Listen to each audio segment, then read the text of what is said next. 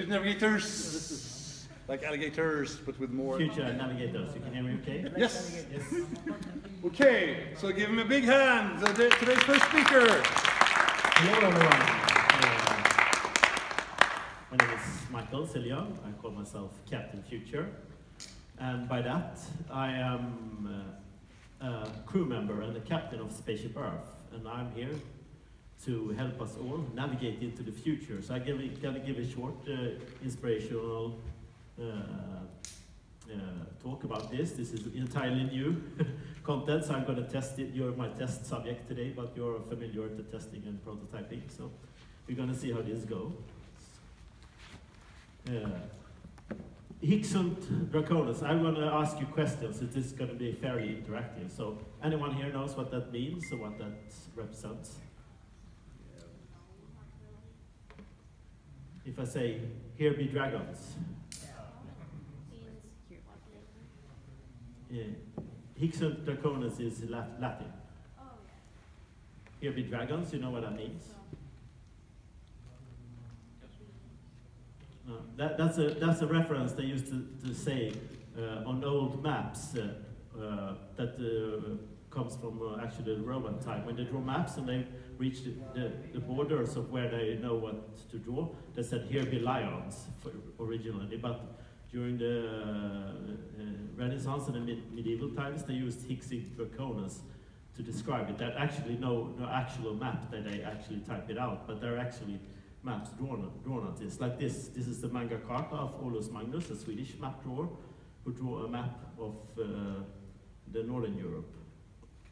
And it was very common on that time. You can see they drew all kinds of sea monsters and dragons in the sea because they didn't know what was out there. And for the, uh, the representation of this, uh, Hic Sunt Dracones or here dragons, is that uh, outside our knowledge and boundaries, everything is unknown. And that's what I, we here together are going into in this hackathon and what we as the future navigators do.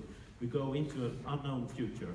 I'm, I'm the opposite of like a, a, a trend, uh, trend futurist who like here to predict the, predict the future together with you. I'm the opposite. I'm here to actually create the future like we do in a hackathon. We're not here to, to have, have some uh, crazy people tell us what the future is going to be like for San Francisco, something like that, and uh, this and that, and technology and apps. But we're here actually to make it happen, because that's what we humans do. Together we make it happen. But for the first time in human history, we have the tool to coordinate to make it happen. The internet, it's a global communication tool. So, so this is us, somewhere. This is a picture of the Milky Way from Earth. We live in this galaxy. We know for, for a fact that we've been at least one supernova, maybe as many as four supernovas, uh, to create the atoms that our body and our Earth are made of today. And this is our planet. This is an updated uh, version of the pale blue dot picture taken by, uh, I don't remember the satellite, but it's taken from uh, the rings of Saturn. And this is Earth. And so apparently you can see the moon if you zoom in really good on this picture. So here, here is where we live. Uh, and of course, we live in Halland, but we also live on the global world. So we have to like step out of that mindset that we live in a city, that we actually live on a planet.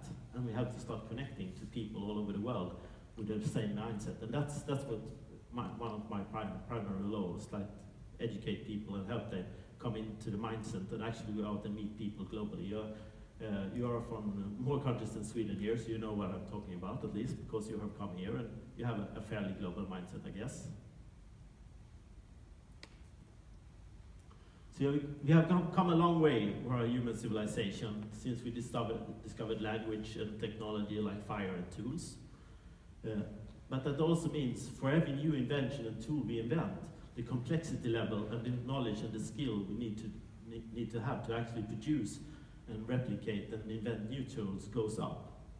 So throughout time, we have, uh, have a fairly simple curve of uh, innovation com, uh, development. When, when a new innovation come out, come out, you don't, people who already lived when it came out, they, they didn't have to adopt to it because they will die off and their, their children will be the ones adopting to it. But now we come in to a period of such rapid change of innovation and, and technology that all of us have to adapt to like hundreds and thousands of new inventions during our lifetime. And this is new for humanity. We, we haven't have done, have have done that before. Maybe a few, but not thousands at least. And we're not prepared. We're not built for this, and we don't have the, uh, the knowledge and the know-how to actually help people uh, navigate this world of complexity. Uh, and most of us pretend that we live in a complicated system or a simple system. We can see the leaders of Sweden today, they still haven't managed to come up with a leader for Sweden because they live in an old mindset of, of a complicated world where we do things by the book, best practices, and, and, and, the way we have done things before. We have laws and rules and regulations that take decades to change sometimes and mindsets. But we have, all have to go from away from that. So I brought my phone with me. You all have this phone, right? you, you have a new version? How, how old is this, is this phone? 20 years old. Yeah, 25 years. And, and uh, I, don't, I don't even remember how to use this anymore because this is old tech, right? but, but, but you all have new phones like, like this, right? How, how long have you had the smartphone? 20 years. When did iPhone launch? launch? 2006. Yeah.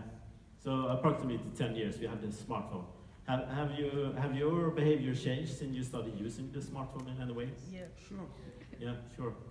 We become smart. And that took 10 years, and this, this is like 25 years. In the next coming five years, like not, not here to predict the future, but what do you think? Are, are we going to see some new kind of toy behavior or something new that we haven't predicted yet? How do we adapt to that? I know you all, you're all cool people, so you, like me, you're like, yeah, new stuff, how fun. but uh, most of most people today, who, the leaders of Sweden, they're not cool people.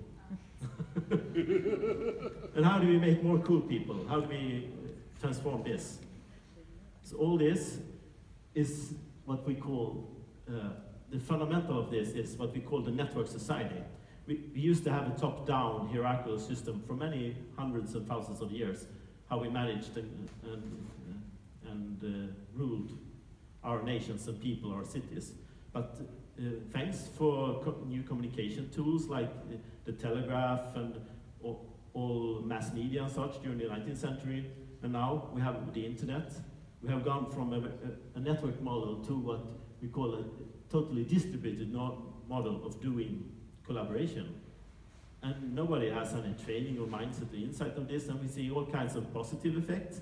We, we also see all kinds of negative effect, effects of this when clusters and uh, uh, circles of people and uh, silos and mindsets are propagated and amplifying across this network in an unpredicted uh, way. Nobody could foresee what, what, what's going to happen when we got this internet.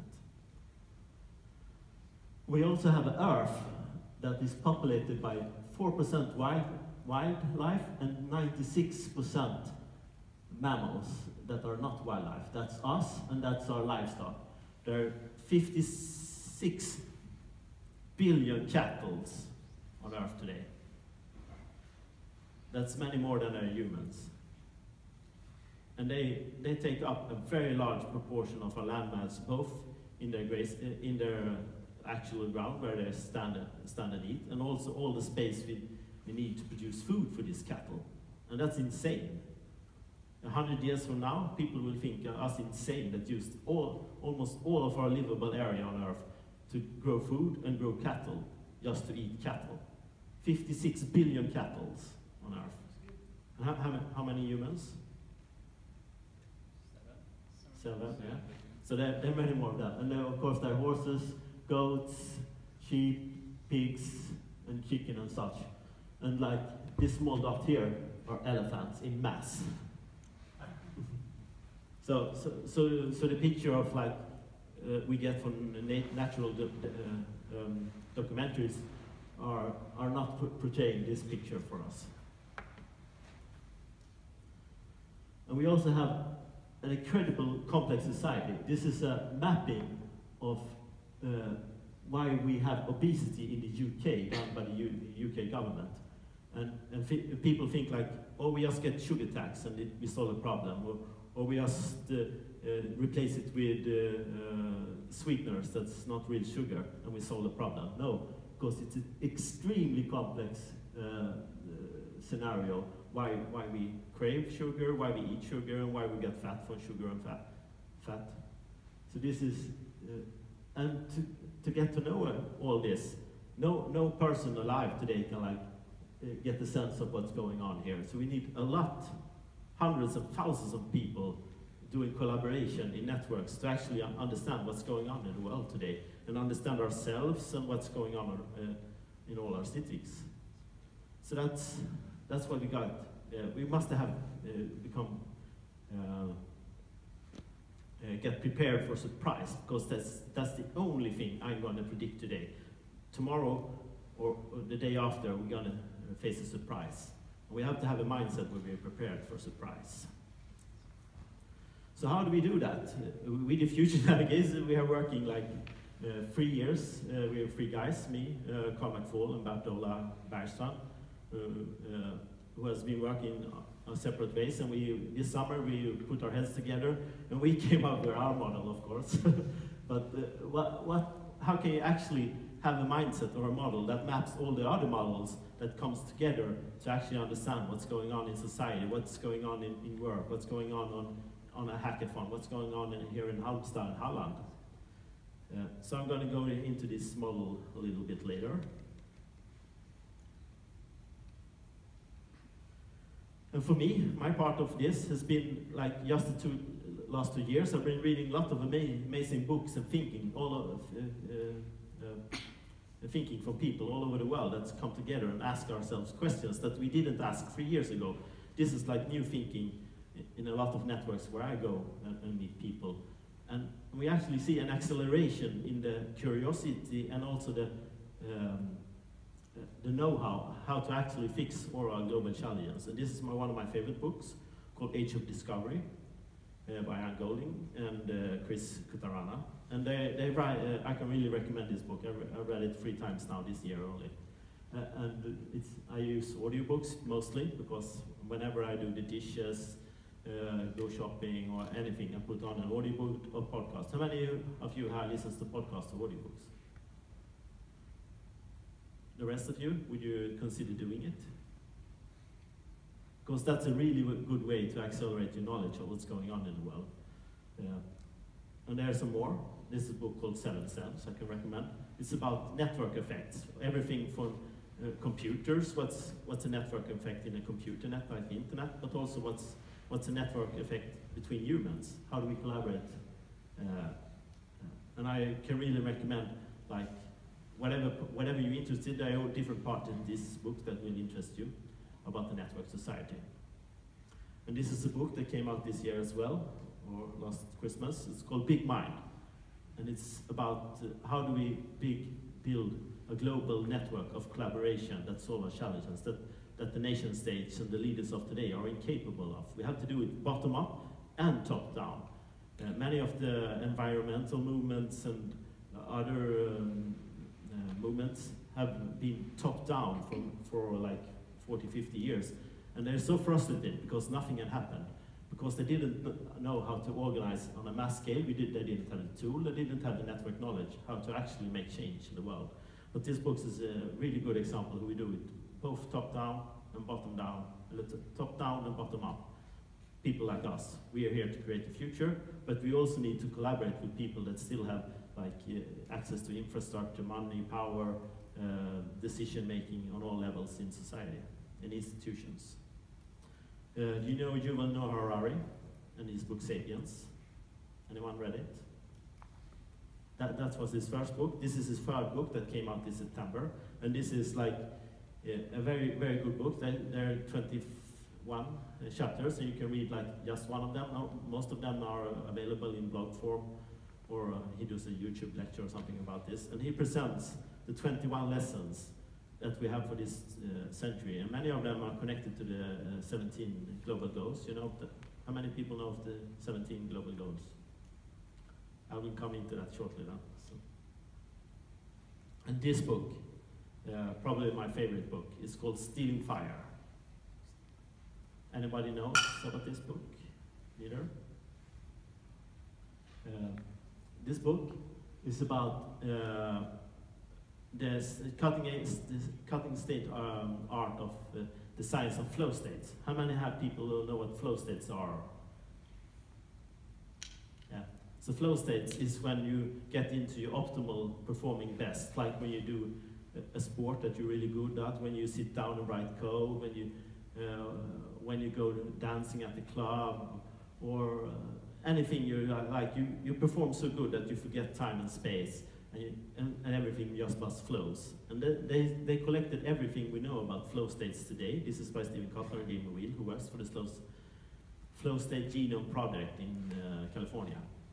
And this is cutting edge science together with Navy SEALs and a lot of the studies they've done on like psychedelics and psilocybin and such that they banned back in the 60s and 70s, but we, we now have started doing again. Like, how do we actually connect our human minds into these flow states? And what happens when we bring people together that are in the flow states? There's something we could call magic today, but we think it's connected maybe on a quantum level between our brains, because we can know that the SEAL Team 6, when they go into a mission, they do, they do what they call flipping a switch. They, they get a group coherence where they can start communicating without using words they can't describe it themselves, they call it like magic still, but this, that's, that's what they call flipping the seats, switch. And this is uh, deeply connected to human consciousness and flow state science. And we like, like just in the beginning of this field.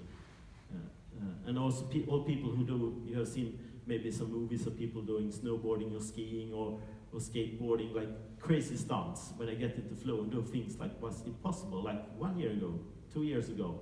They, they do it today, and when once one person starts doing it, everyone suddenly can do it. They don't know how we transform this knowledge of actually go, getting into the knowledge, bodily knowledge of doing stunts like was impossible a year ago. And that, that's also connected to flow states. Uh, and this is a sum up of uh, uh, how do we seek meaning in this crazy world. Uh, this is from uh, Alain de Botton and the School of Life project in London. They have a very, they have like hundreds of five minute short videos that describes everything we need to know about ourselves and society, uh, philosophy and love, and uh, much about relationships and human, human endeavors. And they also, he also did a short video last year when he described what, what, uh, what are actually the meaning we're seeking as humans. And of course we have to have uh, what are our missions? Continue the species. We have to have children to actually live on as humans in some way. Or we, we, maybe you should leave that to robots and AI. That's, that's a different meaning. but most of us want to continue the human race. And we have the master of our minds. Like we have to come, become a much more elevated um, race, where we actually take control of our cognitive thinking, uh, our emotional thinking, and our spiritual and meaning seeking. Yeah we also have to, like, most of us are uh, fairly agreed upon that we have to increase our satisfaction and also re uh, reduce suffering worldwide. Not all regimes and countries today are working on this. I have like North Korea and some some countries that are not they're, they're working in the other direction, but the rest of us are uh, are agreeing agreeing upon this that we have to uh, decrease suffering and increase satisfaction. And we also have to take control of our environment, everything from our cities to the biosphere we live on. Because we need the biosphere to eat, eat food, uh, drink water and breathe air and live. And if we, if we fuck the biosphere up, there won't be food and water for us. And, and you will find a very hard time to live out of nothing.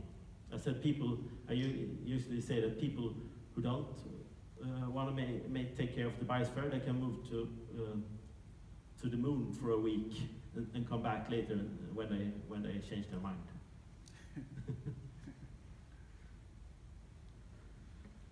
so, so for me, it, this is three projects that we have to get uh, good at. Lifelong learning, we actually have to be, become curious about everything and actually start learning new things every day, every week, every month. And not like you do here, but most people are set in their ways. Uh, and that's a big clash in our society. And we also have to get good at the life skills, like human collaboration, empathy, creativity, curiosity, innovation, and all those skills that we, we don't actually teach to every human being today.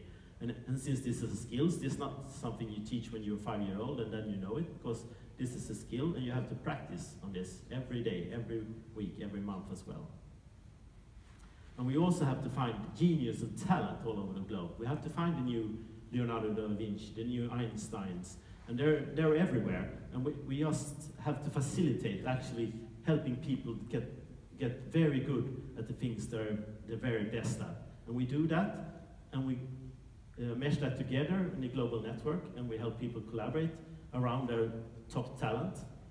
We, we're to get much further as a human civilization we, when we can coordinate all the top talents, because no one is a genius on their own. We have to have large networks of collaboration, and we can do that in every city and all over the world. I'm, I'm traveling the world now and visiting all the places that we can do this. How am I doing in time? I forgot to check my time. You have as much time as you need. Yeah. From now into the future. Yeah. And one of the skills we have to get very good at, that's called sense making. Sense making is like making sense of what's going on inside my body, uh, in this room, uh, but, uh, what's going on in my network with friends, and also what's going on all over the world. And uh, we know that the, no human being, like I said before, can, can know everything that goes on in a complex system. So we have to be, be very humble about what I actually know. I, I can call myself an expert, but I'm, I'm fairly certain that I'm not an expert in uh, uh, uh, much, but a very, very small, small percentage of what's going on. And that's not enough, because then I have to collaborate with experts, millions of experts over the world, uh, in what we call sense making, to actually know what's going on. And for that, the quest is, of course, to seek wisdom. That's something we don't talk about in our society today. How many here people are talking about seeking wisdom on a daily basis. To become old and wise instead of what the most old people we meet today, old and bitter, I think. There are many bitter people, young bitter people as well. And the, opposite of getting bitter is seeking wisdom. And we also have to redefine our roles and identities and our, and our work, what we do as people. Uh, I've been playing with this a lot, and I came up with a role and identity of Captain Future. What is a Captain Future? He's a crew member of Spaceship Earth he, he, he used silliness and creativity and curiosity to help people find their roles. That's what I do. And we all have to new, have new roles and identities. We can't just take the old roles of uh, political leader, CEO, uh, marketeer, communicator, and then add 50% extra of sense-making skills and collaboration skills and networking skills on top of that. People will burn out and go crazy. And we have a large problem with the depression and craziness in our society. So we actually have to create new roles and work and identities that actually help manage this for all of us. I, I would say that we need millions of people working in new ways in a network society with new roles and identities. And the sooner we realize this and uh, start hiring people to actually do this work, the better off we're going to be. So that's also something we integrated in our model. Yeah. We call this model uh, place innovation for the 21st century. And for us, it's, it's a mesh of things that we can do here. Uh, one part is what we call eventification, like this uh, hackathon is an event. It's a new type of event, it's an event that we haven't had for very long. And we are evolving these kinds of events. We are inviting people, collaborating worldwide. I've been to a lot of cool events, uh, the distributed hackathons, when a guy, a friend of mine, is down in Brazil and and he has a local group there doing a hackathon and he connects with a video with all people here in the Nordic and we give insights to what their, their products in, uh, live in their hackathon and we give feedback and ideas for them. So we can do this in an entirely new way. And I started an event in um, Oslo called Katapult that just blown up during the last one and a half years. That many people who have been to events all over the world say it's the coolest events in the world and it's just in our neighboring countries. So I encourage you all to go to Katapult Future Fest in May, the 15th and 16th of May uh, next year. Uh, and you can get in, in on a student uh, uh, student pass, or you can get in on a press pass if you have a podcast or a blog or anything. So it's not, you don't have to buy a way in, but uh, we can fix that up. But I recommend everyone to visit this if you're interested in hackathons and new ways to create the future through entrepreneurship and impact, in, impact investing and everything. So. We also have to facilitate what we call journification, the in and out journey that I mentioned before. And we also have to take all the good talents, and examples in our society and see what, what is best with this hackathon. How can we amplify and make the next event better? And what can we learn from people all over the world doing hackathons to make our event and their event? How can we help them to amplify their best? And how do we how do we connect this all through digital platforms, for unification, for human networks of social capital and such? So yeah, so if you're interested, you can talk to me afterwards uh, for this model because we're working with Trondheim right now, and, we, going to do the 7th and 8th of January. Uh, we're going to do uh, a hackathon here in Halmstad as well, if all goes well, together with maybe Hälsoteknikcentrum. Uh, maybe a 24-hour hackathon or a two-hour hackathon, we don't know yet, but that's going to be in collaboration with the hackathon we're doing in Trondheim at that moment. So if you're interested in that, and that's going to be about place innovation. Uh, how do you, in, uh, how do you uh, define and innovate a place like Halmstad, Halland? And all the thing you, things you do, you have to bring yourself and project your, your talents and knowledge and know-how into that uh, mindset.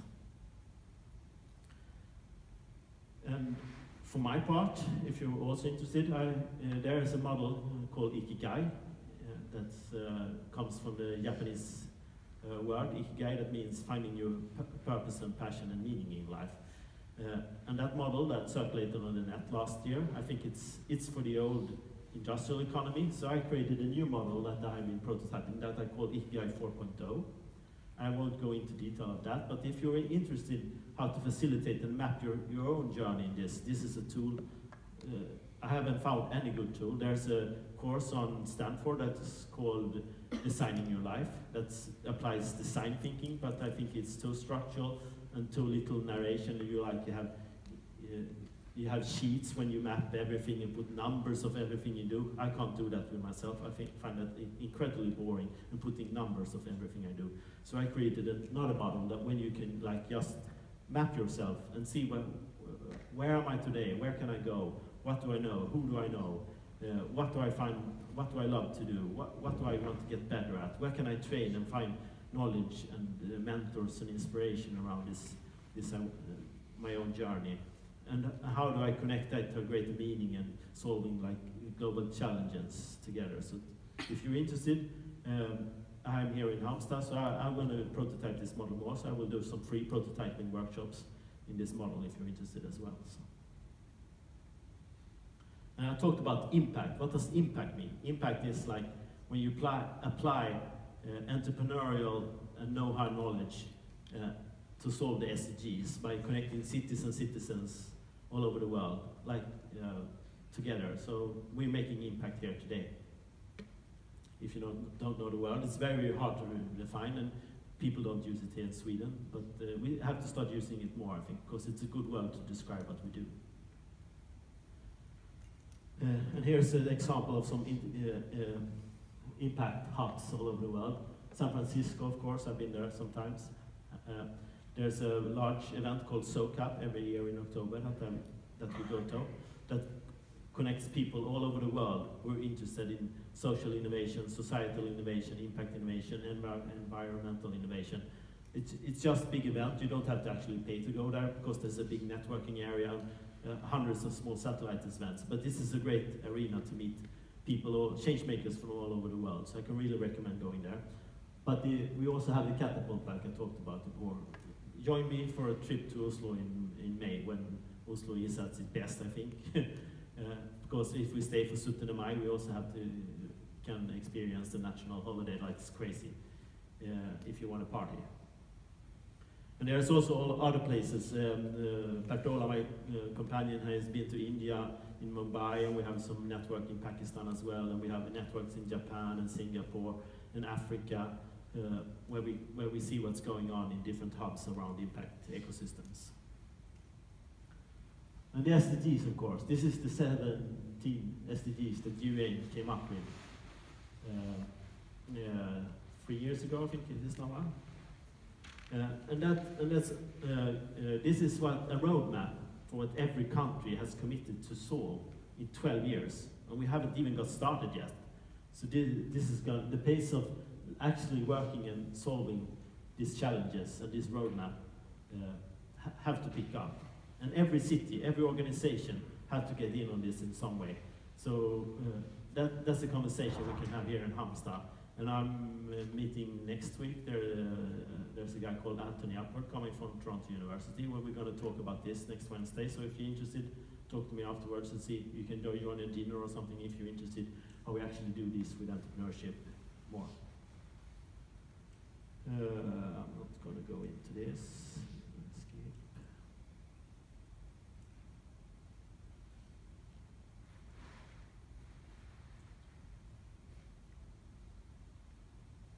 Uh, So my question to you, we, we use two favorite quotes. One is, the future is already here, it's just unevenly distributed.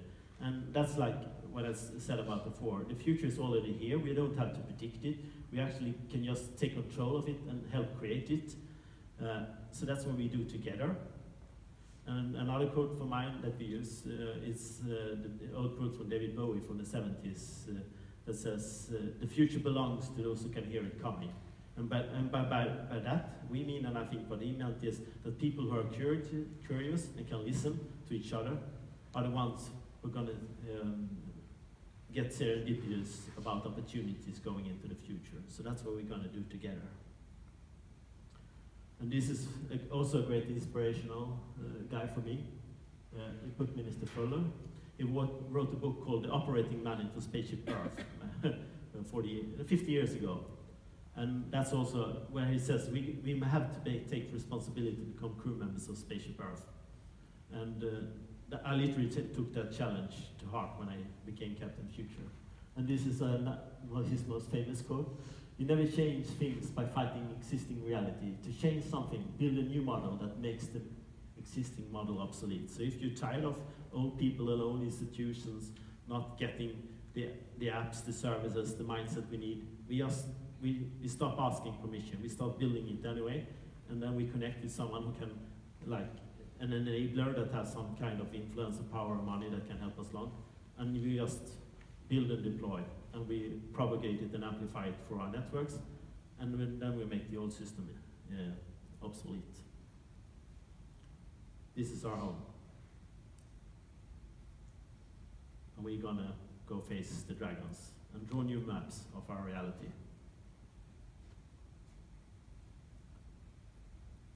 Everyone here has a dragon to slay. Thank you.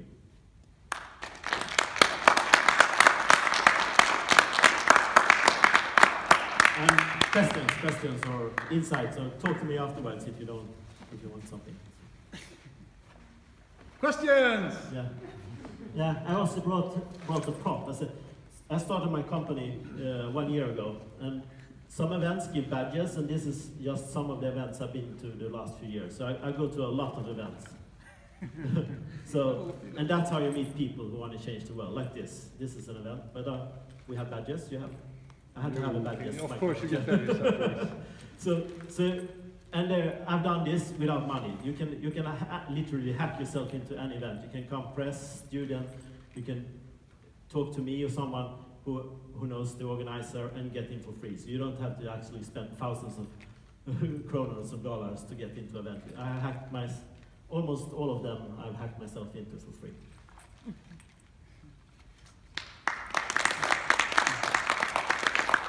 Okay, thank you very much. We have some gifts from our sponsors.